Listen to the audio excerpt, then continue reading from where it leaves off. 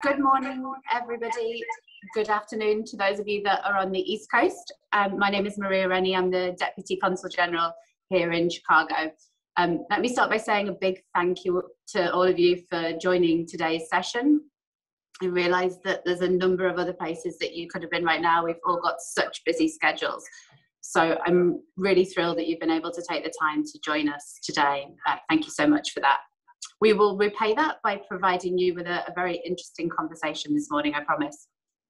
So a few bits of housekeeping before we start. We're all quite familiar with these types of sessions and how they'll run, so I'm not going into a huge amount of detail.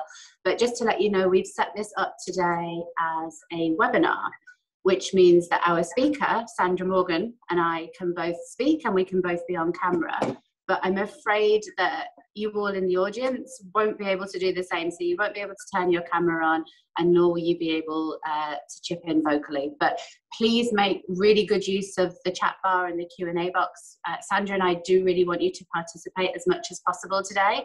It's actually my role in the session today is just to feed your messages and your questions into Sandra. So I'll be monitoring that chat and that Q&A and updating Sandra with what's in there.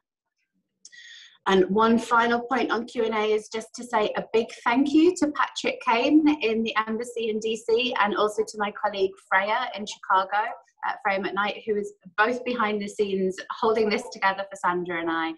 And fingers crossed, uh, neither of them have to do too much troubleshooting for us today. So let me tell you now a little bit about our speaker, Sandra. So Sandra Morgan is our honorary consul in the state of Ohio. And she's actually been doing that role since 2002, believe it or not. She also has a number of other responsibilities outside of being an honorary consul and outside of her day job. So she is a, a, a governor appointed member of the Ohio Commodores and she's also a board member of the US Leadership Global Leadership Coalition. She's a member of another a number of other organizations, um, but despite all that, she still somehow somehow manages to find time to actually do a full time job as well. So she works for Kent State University, and she's a director of external affairs and communications at the College of Arts and Sciences. And some of Sandra's colleagues from Kent State University have been able to join us for the session today. So welcome to you all. We're so thrilled that you've been able to join us. So today's Black History Month celebration session is going to have a little bit of a, a Midwest flavour. It was always the intention of our Chicago Meg chapter to focus on the Midwest today. And when we were doing some research about today's session, we discovered that students at Kent State University were actually the first people to propose that we celebrate Black history as an entire month. And so naturally, that led us straight to Sandra's path because she works there. And we had a conversation with Sandra about how we might theme today's session. But in those conversations, Sandra was generous enough to start sharing some of her personal history about her grandfather. And he has a fascinating story. He is the inventor and entrepreneur Garrett Morgan, um, and so we decided instantly upon hearing uh, Sandra's stories of her grandfather that we had to make this a, a dual theme session today. There was just no question about that. So we're still going to be Ohio based for the hour today, but we are going to focus not only on origins, but also on innovation. So I think you've probably heard about enough from me for now. So Sandra, if you're ready, I'd love to hand over to you and ask you to to take us to join you in Ohio this morning. Well, thank you, Maria. I really appreciate it. And to all of my friends, colleagues, and everyone across the network who may be listening or participating in this um, webinar, thank you. I'm really delighted to be here to talk to you today, uh, not only about Black History Month and the role that Kent State University played in its development, um, but also to share, you know, what for me is a really very proud legacy um, of my grandfather, his impact not only on the state of Ohio, um, but really globally, um, and how that fits into the larger picture of Black history in this country. Before I do that, I would like to thank and everyone who's been a part of putting this together. Um, you know, they encouraged me to speak with you. I wasn't quite sure that it was going to resonate. Um, I hope it does. Um, but uh, they were so encouraging and so gracious in inviting me to speak. You know, it was uh, it was an offer I could not refuse, and for that I am really uh, I'm really thankful and and grateful. So, if you are ready, then you know, let's talk about Black history. Um, you know, those of us here today know the long and intertwined history between the US and the UK. All right. So, since before our uh, conscious uncoupling, if you will, um, our nations have been on uncommonly common ground. One important legacy that both of our countries shares is Black history. You know, Black people have been a contributing member of both of our societies since they arrived on these shores in 1619 and in the UK for centuries. You know, given the important ways that both of our countries have been influenced by the Black presence, I think it's really appropriate that we celebrate Black history together here today. Black history is our history, and I mean that sincerely. The Black experience is woven into the fabric of both of our nations, our failures and our triumphs. In the United States, no state has been more important to Black history than Ohio. Geography plays a pretty significant role in that because obviously the Ohio River separated Free State Ohio from slaveholding state Kentucky, and untold numbers of enslaved people crossed the Ohio River into freedom and really to forge a new experience and a new life for themselves. They were welcomed and helped throughout the state by a well connected series of stops called the Underground Railroad here. And Ohioans were very progressive. Um, you know, Ober Oberlin College was the first college in the United States to admit students without regard to race or gender. That's pretty impressive considering that this was 1835. Before the Civil War, Oberlin enrolled more Black students than any other college or university in this country. By 1900, they had produced one third of all African American college graduates in the country, and that includes women. In fact, the first African American woman to receive a college degree in this country, and probably any other, was from Oberlin College. In more modern times, Kent State University was the first to acknowledge and celebrate Black History Month, even before it was a national holiday. It's important to note that previous to 1970, Black history was really um, celebrated for one week. It was typically the second week of February, and that was, um, you know, that was brought forward by Carter G. Woodson. And the reason that they celebrated in February, um, I mean, it's not a short shrift uh, to our community, but it was in celebration and acknowledgement of both Frederick Douglass's birthday and uh, Lincoln's birthday right? Both born in February. And so, you know, these are two great influencers on African American freedom, um, self possession, and destiny. And so it seemed appropriate to celebrate in this month, but it was only for one week. At Kent State University, a, number of very progressive thinking students and administrators and faculty members decided that one week really wasn't enough, that there was a, a broad range of achievement and pride in our community that needed to be celebrated more fully. And so at Kent State University, they decided to celebrate for an entire month.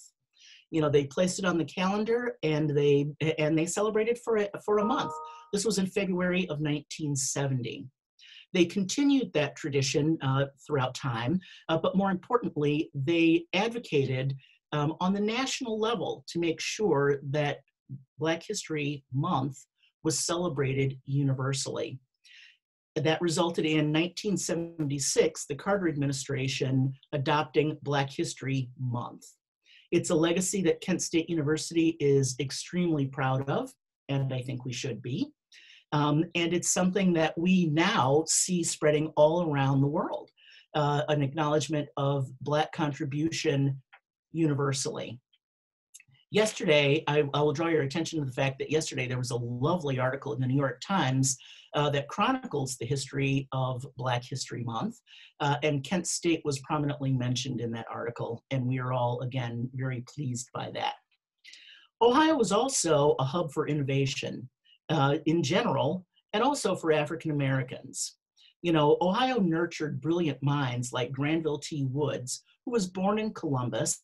He was born a free man, but he dedicated his life to developing a variety of inventions, um, all related to the railroad industry. Transportation was important. I hope you're getting this trend.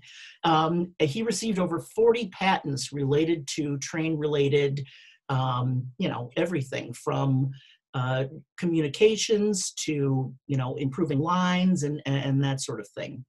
Um, I'd also like to point out another African American inventor, an entrepreneur who, as you already know, is my favorite. You know, he was um, my personal hero in addition to being an entrepreneur um, an inventor, and a civic leader. Um, my grandfather, Garrett Morgan, you know, if I can qualify my grandfather's life, I would separate it into three different areas Garrett Morgan, the adventurer, Garrett Morgan, the entrepreneur and inventor, and then finally, Garrett Morgan, civic leader. I'd like to share that, you know, throughout all of this, he was um, a steadfast family man, family first. Um, and he wanted to make sure that his family was well taken care of and that they were that they moved into the mainstream of American society full of confidence and and knowing um, that we could achieve anything. And I think that he really did hit the mark on that. So let's talk about Garrett Morgan, the adventurer, first. He was born in Kentucky in 1970, or I'm sorry, 1877. Uh, you know, shortly uh, after the abolition of slavery, it was Reconstruction. Um, he was given what was typical of um, an education then, which was an elementary school education. He went to sixth grade. Uh, but he was a very precocious young man um, and decided that at that point he was not going to stick around in Kentucky. Um, you know, he had had uh, enough of Jim Crow and the behaviors that were uh, endemic at the time, and thought he was he would cross the river and come to Ohio, which he did. You know, he was an enterprising young man, smart, and thought, well, let's see what happens. So he moved to Cincinnati. He was about 14 years old then. He decided to leave home without his parents, without his brothers and sisters, on his own. He struck out. He walked not took an Uber, not drove, but he walked to the banks of the river, caught a ferry, and got to Cincinnati. He found a job very quickly there, um, but found out also that discrimination was every bit a part of the fabric of Cincinnati as it was in Kentucky. He just wasn't far enough away from the South. In the meantime, he heard some really great things about Cleveland. You know, Cleveland was um, at the time a hub of innovation. Um, you know, there were the Rockefellers were here, Edison was here. There was a there was a lot going on, and so he thought, well, you know what? I'm going. I'm striking out, and I'm going for the for the big city. I'm going to the bright lights of Cleveland, and he literally hitched a ride on a train, not by buying a ticket, um, but by jumping on the train and sitting in one of the cars and riding from Cincinnati to Cleveland. When he got to Cleveland, he arrived with, as he said, a dime in his pocket, literally, but with hope in his heart. Um, he was a hard worker, he was enterprising, and he thought he could make a way. So once he got himself sorted out here in Cleveland, um, he found himself a job um, and and started working at, while he worked in the textile industry, which was big in Cleveland at the time, uh, this was right around the turn of the century, and Cleveland actually was either two or three in the textile industry behind New York. There were lots of Eastern Europeans who had come to the city uh, in search of well, you know, opportunity and jobs, just like him. Um, and they worked in these, they worked in these various factories, um, sewing clothes and all sorts of things. And he worked in one of those factories too. He was the handyman. While he was there, he met my grandmother, who was a bohemian seamstress. Well, you can imagine the hubbub that that caused. An interracial relationship at the turn of the century was frowned upon uh, whether you were in the South or really no matter where you were. And so they were given an ultimatum. Either you end this relationship, stop talking to each other, and, you know, separate yourselves into, you know, what we think should be your roles and, and uh, areas, or you have to leave, you have to leave. Well, my grandfather and my grandmother, who were not married at the time, but soon were thereafter, decided we're going. And they left uh, Root McBride and decided to get married um, and then find their way. So that that's Morgan the adventurer. Morgan the adventurer became Morgan the entrepreneur because of this situation. So, you know, he left Root McBride and, you know, knowing that he and my grandmother were married, that they were going to be met with the same opposition no matter where he went. And so he decided to start a business of his own. You know, he was handy, um, mechanically inclined, and so he started a company uh, initially fixing sewing machines and then ultimately doing piecework for a couple of the, the uh, businesses around town, and then expanding his business even more, um, you know, which was great because now he was employing people in the community of all ethnicities. Um, you know, he was he was making a way for his family. Not only did he have that business, but you know, I'm going to use a local kind of vernacular. He was a hustler he had a he had a poultry shop he had a clothing shop he did anything and everything that he could in order to make a way for his growing family um, and also to uh, to explore to explore his ideas it worked out very nicely for him um, pretty soon he was working very comfortably you know he was providing a nice living for his family um, and he was able to really think a little more broadly about what it is that he'd like to do. Um, so, one of the things that, and this is kind of funny, you know, when they were sewing, putting together these, um, you know, they were working with white cotton in particular, sewing shirts. And when they were sewing, it would move very, the, you know, move quickly. And so it would sometimes scorch the fabric because the needle would get really hot. And it would, you know, scorch the fabric where it was sewing, um, and that was problematic. So he was in his workshop looking for a lubricant that he could use um, on the on the needles that number one wouldn't stain the fabric, but also would provide for um, you know ease of movement without the friction on his needles and um, and was called away to lunch. So he went, he wiped his hands, went inside, had his lunch, came back to his workshop, and noticed that the the hairs, the fabrics on the cloth that he used had straightened. He said, "Oh, this is interesting. I wonder, you know, I wonder what this, what else this could do." So he uh, called over his Airedale dog and put a little bit of this this concoction on the dog, and it straightened the dog's hair. So he thought, hmm, he put some on his own hair, which in my opinion was a very dangerous thing to do, but he put some on himself and it straightened his hair as well. He thought, Eureka, I've got, I may not have solved the issue of the sewing machine needle, but I think I have something else that I can work on. And from that was born the Garrett Morgan Hair Refining Company. Uh, again, at this time, consider this, the circumstances. Um, Madam C.J. Walker was very much on the scene. Um, you know, she was making a lot of money. It was a time when beauty and self care was becoming increasingly more important to an increasingly more prosperous African American community. My grandfather saw this as a business opportunity and he launched his company. Um, and he literally traveled all over uh, the East Coast of the United States um, selling his products directly to consumers, but also stocking various uh, drugstores and barbershops and, and that sort of thing with this product. He even got a patent, his first one, for a hair comb, a hot comb is what it was called, um, that you heated up and then used to straighten out your hair. Now, you could not use both the hot comb and his hair straightener. Um, you had to use pick one or the other, but um, you know, it was the beginning of a of a growing and very profitable business for him. In fact, he had a, a whole portfolio of hair products, um, all of them safe and uh, safe and biodegradable and uh, all that sort of thing. In fact, when he would make demonstrations at various barbershops, at the end of his demonstration, he would drink a small bottle of this stuff in order to prove that it was safe and that it wasn't going to uh, that it wasn't going to harm the people who used it. Ingenious. He had uh, a million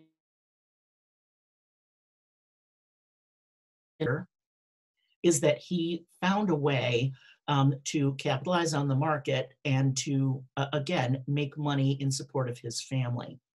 Uh, and also give himself a little bit more time to think.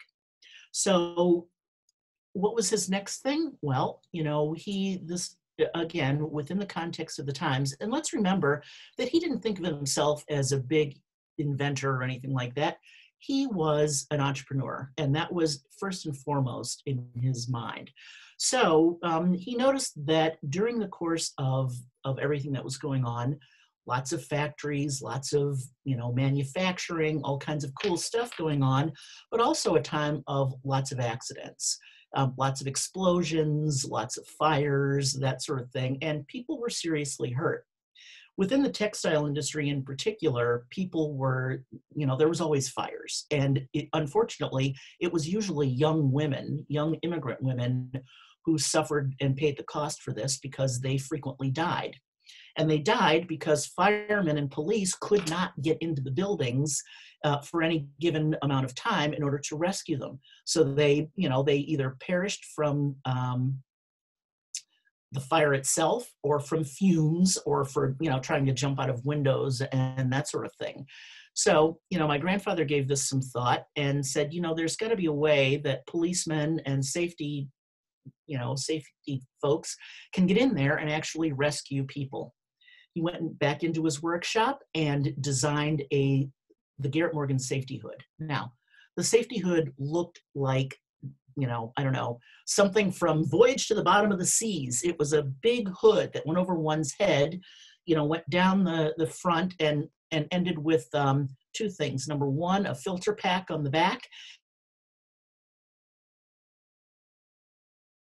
And number two, tubes down uh, towards the ground. Um, his, you know, his um, safety hood was ingenious and got a patent because of two things. Number one, the, the pack um, that allowed um, air to flow through. It was like a water pack, okay? And so it, it trapped heat and it also um, was able to, to trap some of, the, some of the noxious fumes and the poisons that were, that were in the air. But more importantly, it had two tubes towards the, uh, towards the floor. And those tubes then allowed cool air and clean air to circulate through the, the safety hood and allowed um, an individual up to about a half an hour to be inside of toxic, uh, any kind of toxic situation and, and get people out. Well, you know what? He took this, uh, he took this item to the New York Safety Expo of 1912 and he won first prize. He was delighted. They were selling like hotcakes. I'm going to point out one thing to you, though, as to why it, they were selling like hotcakes and what happened subsequently. When he went to the to the expo of 1912, um, he could not go as himself. He was not allowed. So he hired a white man uh, to go in with him um, and pose as Garrett Morgan. My grandfather then posed as um, a Native American from a Canadian tribe so that no one would say, well, I don't know. What about, you know, they wouldn't ask around, I suppose but anyway, um, you know, he cha- he was Big Chief Mason, and he, uh, you know, went through this whole ritual of showing how you could use the safety hood, and you know, going into a smoke-filled room and being in there for a while, and then coming out to the astonished gasps of people. And uh, and when he won first prize, um, you know, they were falling all over themselves to buy this safety hood. He made quite a nice living off of this and off of this safety hood and patented it and then ultimately gave it to the government. Okay, so fantastic, how wonderful. Until 1916. In 1916, there was a big explosion under Lake Erie. They called on my grandfather. I mean, it was it was big. They hit an air pocket um, of gas, and people were killed. They were thrown all over. It was a big deal because they were literally five miles away from the shores of you know Ohio and under Lake Erie. They were they were digging um, you know tunnels for uh, water intake. essentially, um, what is now our what our, our water filtration plant. But when they hit that pocket of gas, these men were the ones who were still alive were trapped, and they were trapped five miles away from shore and under the lake. Frightening, in my opinion. Anyway, they called on my grandfather to uh, use his safety hoods to go underneath and rescue them, which he did. There were very few people who were willing to go with him because they were scared. The first group of rescuers had gone down there and they died because they didn't have the appropriate equipment. So my grandfather and his brother, in their pajamas and no shoes, went under, took the chute or the the shaft down under the lake and then out uh, five miles. Saw the pandemonium that was going on, loaded dead bodies into those big carts, put those who were living on top, brought it five miles back to shore and then up. Imagine all the the excitement, the hurrahs that went on there. Well, then others put them on, went underneath, um, you know, and they got they retrieved the the bodies of those people who were who were trapped under there and it, it, was all over the papers. It was in the papers in cleveland chicago new york everywhere. No one mentioned garrett morgan. No one mentioned his invention. Even though he was front and center in the photos he was not he was unvis- he was invisible. He was not um, acknowledged in any way.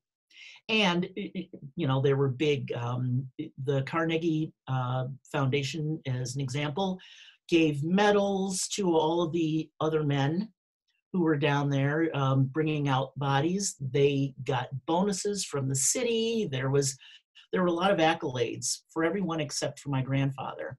Without whose invention they would have never survived. When it was uh, discovered that Garrett Morgan was the true inventor of the traffic of the gas mask, and that he was central to this uh, to this effort, they stopped buying the gas mask. Literally, they thought, well, you know, he's a black man, and we're not going to support his business, and that literally happened. It was um, one of his great disappointments, but he chose not to allow that to uh, to deter him from moving forward. So whereas he did very well with those, at least initially, um, he gave his patent to the government and he recognized his importance to safety efforts. Um, you know, not only for firemen and police officers and others, uh, you know, in our country and now worldwide, um, but certainly to the war effort uh, in World War One and then beyond. So there you have that. Well, so he said, okay, fine, I'm going to go back to my regular business practices. I'm going to do what I was doing, you know, the hair care systems, the all this other stuff that I've got going, fine. But I need to advertise my I need to advertise my um, products because I'm really tired of driving all over the place. I'm really tired of these you know, he literally had a calliope on the back of a truck and he would drive around with that. He said, that's, uh, you know, I, I'm tired of that. I'd like to advertise. So we reached out to the local newspapers who kindly told him, um, you know, we like you, Mr. Morgan, but we cannot accept your advertisements. Um, you know, these our advertising uh, pages are dedicated to the majority community. So my grandfather said, okay, that's fine um, I think I can, I know what to do. He started his own paper. It was called the Cleveland Call. Ultimately became the Cleveland Call and Post. Um, but he said, and uh, he told everyone, number one, I want to hear good news about my community. I want to be able to share what's happening in the African American community um, you know, throughout Northeast Ohio, and I know others are interested in this news as well. And number two, it's a vehicle not only for me to advertise, but for other African American businesses as well. So, guess what? It was wildly successful. Not only did he have reporters on the beat and a whole slew of paper boys um, who, you know, sold the paper, delivered it, did everything, um, but he was raking in the money for advertising hand over fist because not only did African American businesses want to advertise within their community, but guess what? everybody else wanted to advertise in the community too. It was literally, um, you know, tracking the dollars. So uh, it was a, it was a, a marvelous success for him.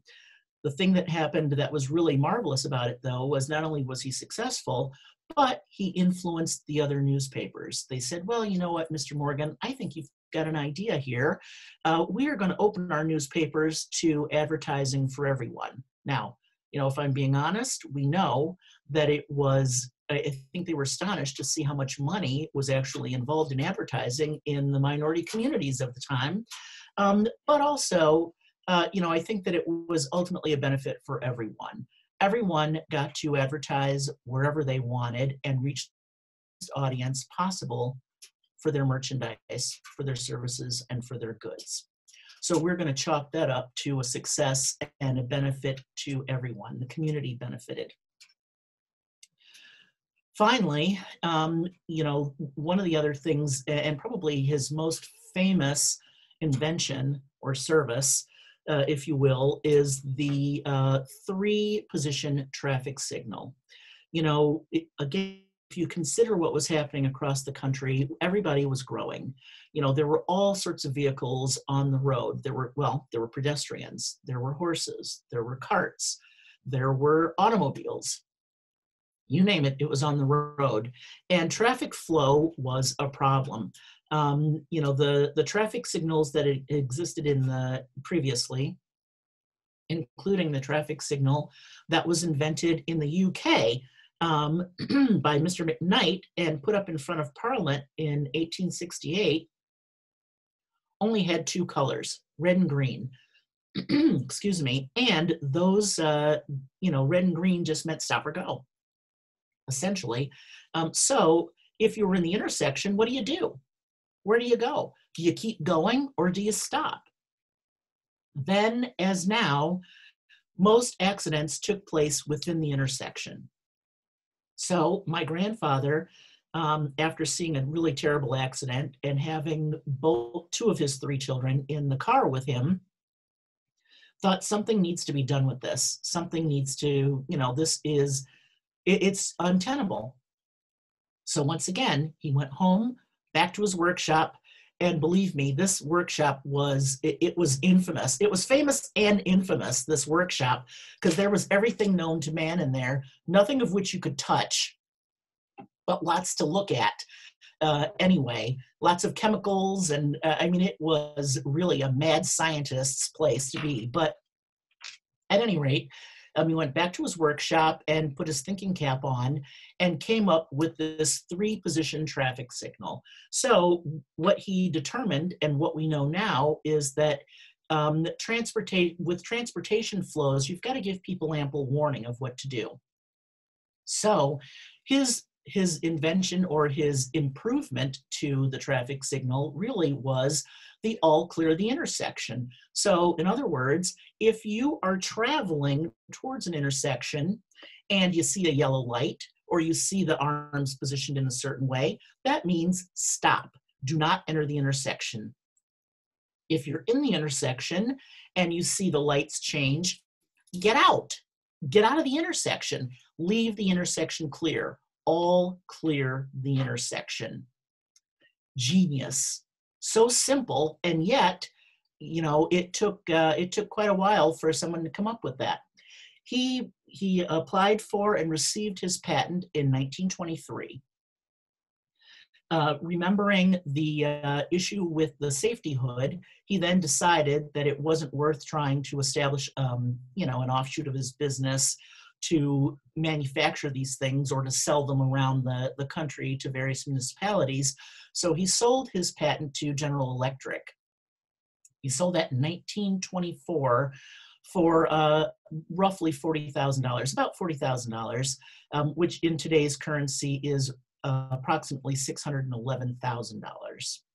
Well, in 1924, that was a bunch of money and it was by then he also was um, a middle-aged man uh, and decided that it was time for him to turn his attention away from inventing and you know business business was running just fine he was doing very well now um, you know he was able to take care of his family he was able to uh, provide actually for you know future generations, myself included. Um, excuse me. And so he turned his attention to being a civic leader. This is really the third part of his life. Um, you know, he was financially comfortable. He was known in his community broadly, and decided that it was time to uh, to really take on some of the issues of the day. Um, you know, there was a, a nice African American community in Cleveland.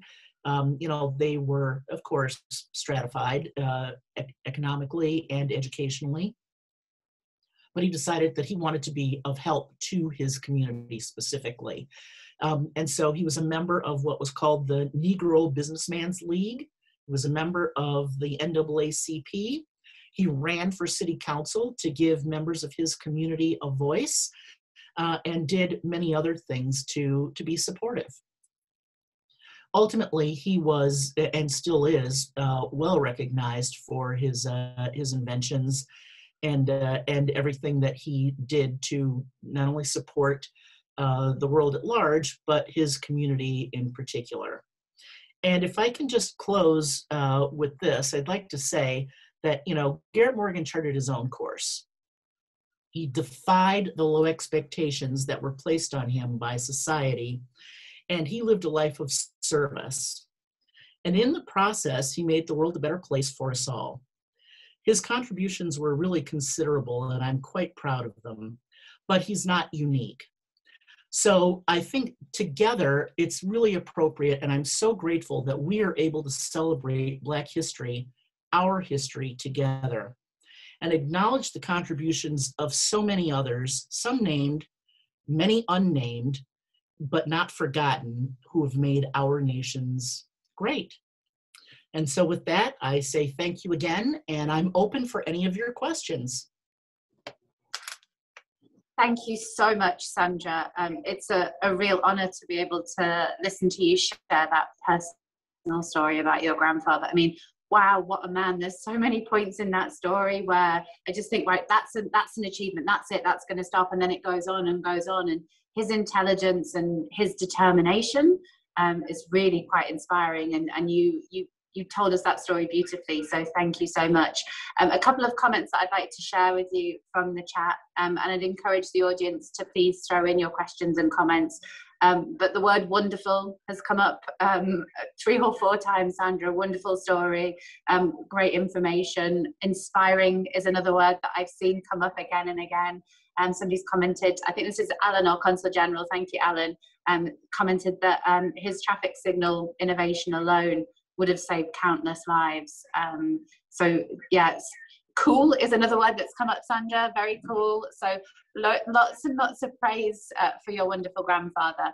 A couple of questions that have come in. Let me ask them in order in which they've come in. Sure. So the first question um, that popped up in the Q and A was um, one of our audience would like to know: Do you still have many of your grandfather's artifacts and inventions? Um, and where are they? And, and could we see them as members of the public if we wanted to? You absolutely can. Um, you know, naturally, we have a few things, um, you know, that we keep close close at hand um, to remind us of our legacy. Um, but we also want to share our legacy with everyone else. And so um, there are traffic signals and gas masks. Um, you know, I won't say spread throughout the country, but um, here in Cleveland at the Western Reserve Historical Society, we have a set. There's a gas mask and a traffic signal um, because it's important to tell his story at, in his home. Um, there is also a, a, traffic signal at the Smithsonian Museum of American History. It's been there for over 20 years and it is a part of an exhibit called America on the Move, Transportation from 1840 until 2000. It will be on exhibit for another two years approximately. It will be up um, on exhibit through 2023 which is the centennial of his traffic signal. And so that's pretty exciting for us. Um, there's a gas mask at the Smithsonian Museum of African American History and Culture, uh, which is just down the street. Um, and we also have some of his other ephemera there. So there's a gas mask, his uh, sales brochures, um, some of the uh, hair products and the and the uh, advertisements for the hair products there as well. At some point in the future, um, both exhibits will come together. Um, we believe that they will bring the traffic signal to the African American Museum. So there will be the gas mask, the traffic signal, um, a, a, number of um, brochures and other ephemera all displayed together. Um, and here in the Midwest, again, in Detroit at the Charles Wright Museum of African American History, uh, Dr. Charles Wright and my father were social friends.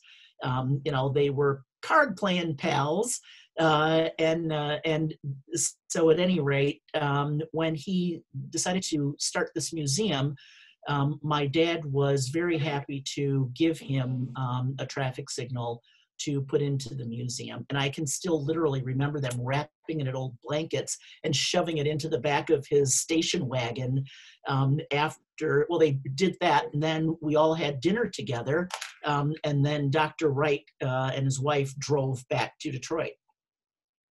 So the, that's a long-winded way of saying, yes, you are able to see uh, a number of his um, his uh, inventions in the, around the country, and I would that the the uh, traffic signal in particular, well, the gas mask too, but the traffic signal is the one that he used in order to get the patent. So you can literally see the all marks uh, in the wood um, from his carving, which is really kind of cool.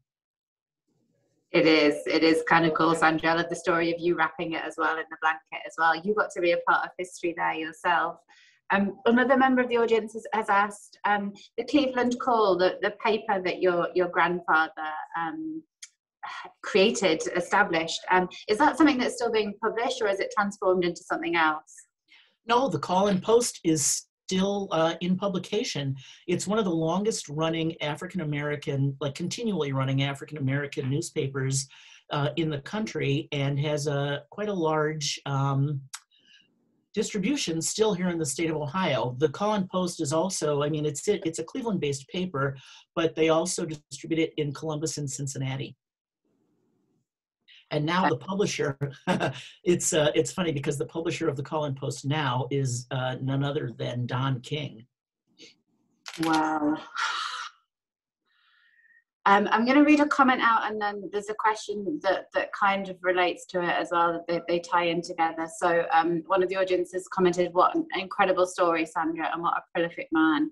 Um, it breaks my heart that he did not get the recognition and commendations he deserved in his own time because of systemic racism and inequality. I'm really honoured to hear his story now, so thank you.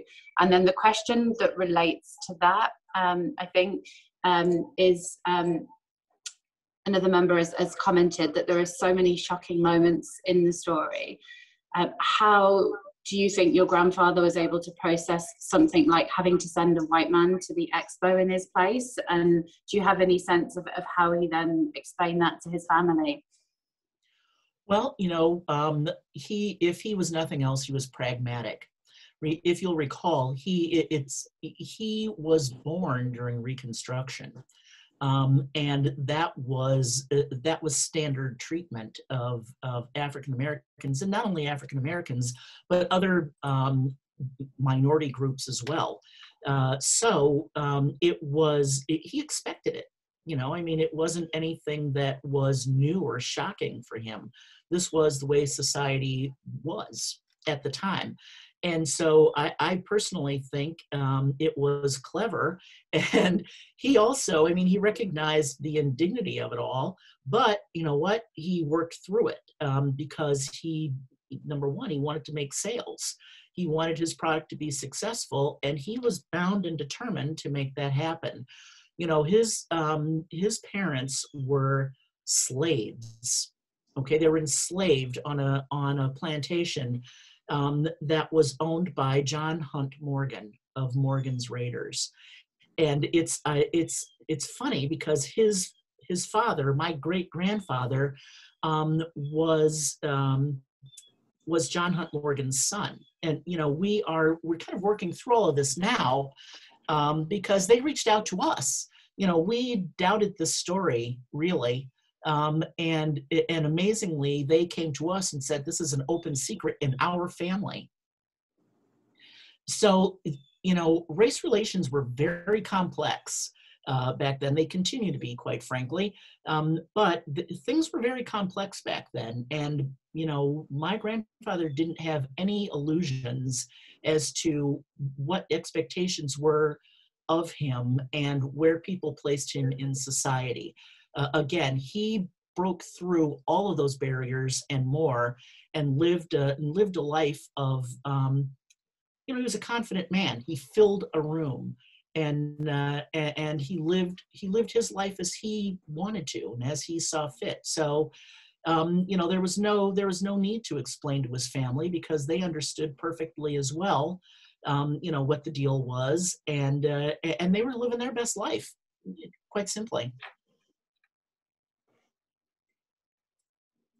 thanks for that sandra. That that's really helpful. Um, a couple of, of, related questions around um, you mentioned in in your um, early on in your your conversation with us granville t. Woods. Um, a couple of people in the audience are interested um, to know a couple of other examples of Black entrepreneurs, um, perhaps people who didn't quite get the recognition that they should have in their time. I don't know if you have any that you could share from Ohio or, or other states that you're aware of. Yeah, well, goodness gracious. I mean, there are there are a million and one stories um, of Black entrepreneurship and Black inventiveness um, you know, that uh, that doesn't get highlighted all over the place. I mean, the monkey wrench literally was invented, um, you know, by an African American. Uh, car refrigeration, meaning you know, boxcar refrigeration, was invented. Um, the patents are held by an African American. You know, if we place this into context, um, African Americans were not allowed to hold patents until after uh, after emancipation because they were chattel and it was considered that anything they came up with automatically belonged to their owners. And so it didn't stifle innovation necessarily, but it's it stifled sharing. So um, you know, once uh, once that was once there was emancipation and people could really do for themselves, um, you know, there was a, there was just a lot going on. Uh, you know, in Ohio, I think that there are there are just so many stories. There are so many writers and inventors and educators. Um, you know, I think about Langston Hughes. You know, we know Langston Hughes as being a great poet and playwright and that sort of thing. You know, his grandfather was one of the first um, lawyers and judges in the state of Ohio his grandfather. You know, there there's lots of greatness. Uh, there's there's lots of greatness in between the lines. I, we are very fortunate that my grandfather's story is one now that's being told, um, and you know I think rightly so. But you know, his is just one of many. Thank you, Sandra. Um, it, it's almost a related question, I suppose. But do you have any sense of, of who your grandfather um, might have rubbed elbows with back in the day? Any names that we might recognize?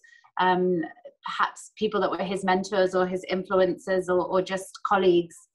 Yeah, well, you know what? I have actually kind of a fun story um, to, to share, and and this is uh, you know this is really i think kind of cool my um when he my dad my grandfather had three sons and his eldest son is named john pierpont morgan jp morgan all right so ordinarily and my my father is garrett morgan jr you know and my dad was the middle son the pickle in the middle you know and you would think wow why wouldn't you name your first son you know your firstborn after you well you know what? This goes back again to the safety hoods. My grandfather was having a tough time selling his safety hoods. All right. And it was the Garrett Morgan safety hood. And people knew that he was black and he was like, oh, what am I going to do? Well, the long and the short of it is that JP Morgan had business in Ohio and in Cleveland in particular. And my grandfather, who was never shy, reached out, you know, found the found the connections to get to JP Morgan and said, oh, you know, ha ha ha, we have the same last name, DDD, whatever. I heard that you like to hunt. You know, I'm a hunting um, fan myself, and he sent him a hunting dog. Okay, some don't ask me what kind of dog, but sent him some sort of dog that that likes to hunt. Okay, and J.P. Morgan was struck by that, and it it started a dialogue between the two of them. And, you know, as a part of that conversation, my grandfather said, you know, I don't know what to do initially would you invest in my in my gas masks you know that, sort of thing? And he said yeah i'm not going to invest in your gas masks i'm going to give you some advice here. You know what why don't you take the the garrett a off the off the morgan safety hood and just call it the morgan safety hood okay? You know what we are friends and i will acknowledge that you know in the wider uh, scheme of things. And then let's pe- let people make the you know use that association to um, you know to decide in their own minds what whatever they think. We know that it's the morgan garrett morgan safety hood but based on our relationship people are going to think maybe it's the jp morgan safety hood or that i've had some some influence in there. The long and short of it is it worked. You know it was it was a way for my grandfather to revive his sales. The sales were not nearly as as um, fast as they were before, uh, you know, the the crib disaster, but um, he did he did increase sales and and continue to grow his business. So my grandfather named my uncle John after him, let him know, and J.P. Morgan sent my uncle John then um, a savings bond right? And a nice little letter, which um, my grandfather never cashed the, sa- the savings bond, and and we still have the letter. That's so amazing. that was his big. That was the big person that he rubbed elbows with. That's some good elbow rubbing. um, there's a, a, question, Sandra, that, that brings us around to you a little bit. So I really like this question. Um, so obviously you've described to us your, your grandfather as an entrepreneur, an inventor, a civic leader and also a family man. So he's, he's such an impressive character that you've just described. Which of his values do you try and incorporate most into your own life, and how do you do that? Well, um, you know, I think a couple of things. Number one, um, our grandfather taught us to be comfortable in our own skin.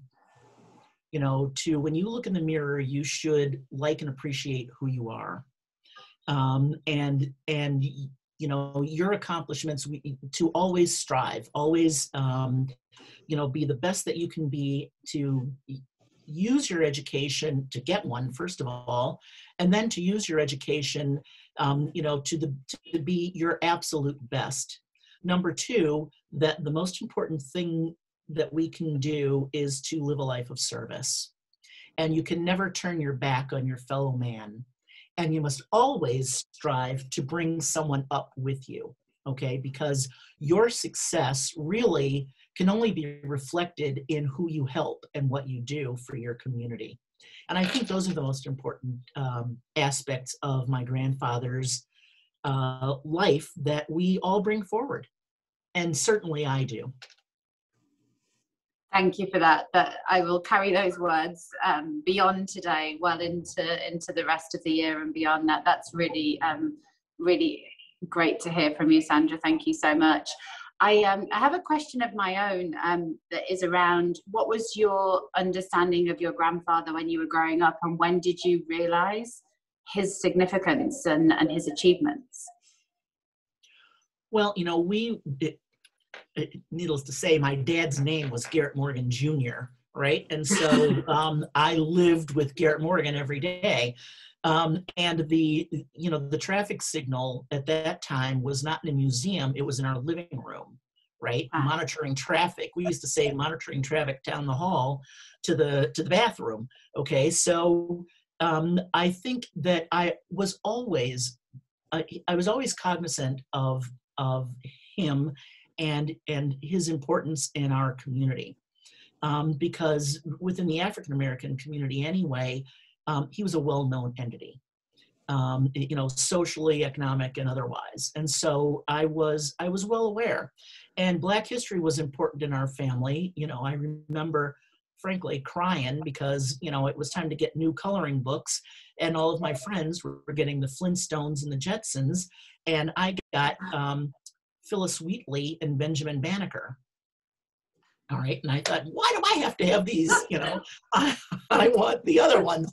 I want what everybody else has. Um, in hindsight, of course, it was, uh, you know, it was a tremendous learning opportunity.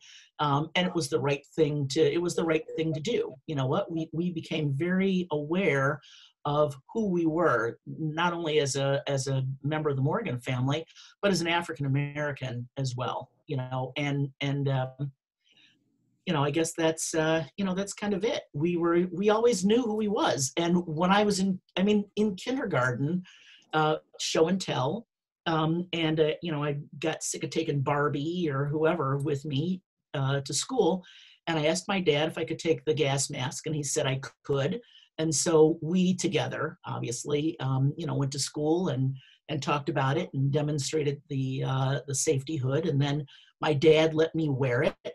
And uh, you know while he was talking to the teacher i was chasing kids around the room with it you know and, uh, you know anyway uh, I, I, think we knew from a, a, right right from the start right from the get-go um, that he was a very special person and that we had a we had a, a, a really um, special legacy that's great. I mean, he, he deserves to be um, understood and recognised, certainly by his own family in that way. I think that brings us to the end of our questions, okay. Sandra. I, I have a comment that I'd, I'd love to finish on on my side before I hand over to you for, for some final words. But um, one of our audience has shared something which I think is a really great way to wrap things up on the audience side. So the comment is um, I have a four year old son called Aidan who's in daycare in February 2019, his two year old class teacher taught them about different Black inventors all month. And one of them was Garrett Morgan. And Aidan then told my wife and I that he learned about Garrett Morgan and he created the stoplights. Neither my wife nor I knew of Garrett Morgan at the time, and we're really proud that Aidan was taught about your grandfather when he was two. I thought that was a wonderful way to, to kind of feed back to you. Yeah. Um, I'm a little thrilled bit. to hear it yeah that's really exciting to know. And you know and i'm grateful for all of these things. The first garrett morgan school in the country was in chicago ps ah. um, even before in cleveland um, and now they're scattered throughout the country. You know i mean they're they're all over the place. But um, it's always exciting to know that um, that my grandfather is a part of i mean that people learn about him in school right? That he is a part of the educational fabric of, of this country. And just like we learn about, you know, George Washington or, or anybody else, um, you know, Susan B. Anthony or any of the other um, people of history and of uh, business importance that we learn about, uh, that we learn about Garrett Morgan. It's, um, it's a legacy that I am eternally grateful for um, because it has, it, you know, it's made me who I am. Uh, and it's also one that I'm super proud of, as you can imagine. Uh, and I'm always delighted to share um, with audiences and individuals like you. So thank you again for having me, um, for hosting me today. I hope that I didn't stumble around and I wasn't boring or anything like that. Um, and, uh, and um, you know, again, just thank you. Sandra, you could never be boring. And with a story like this, no, you, you, thoroughly held our interest throughout. Thank you so, so much. It was an honor to be able to listen to that today. I know our audience are hugely grateful as well. The session has been recorded for anyone that wants to share it. So we can we can share a link for that. Just reach out to me. And I think we have some links that we'll share with you as well um, Freya's just posting them in the chat now, so you can um, you can look up some more details. So thank you so much again, Sandra. A real honour to, to be speaking to you again this morning, and thank you for your time. Thanks to everyone who listened. I appreciate it. Thank you, everyone. Have a lovely weekend. Thanks. You too.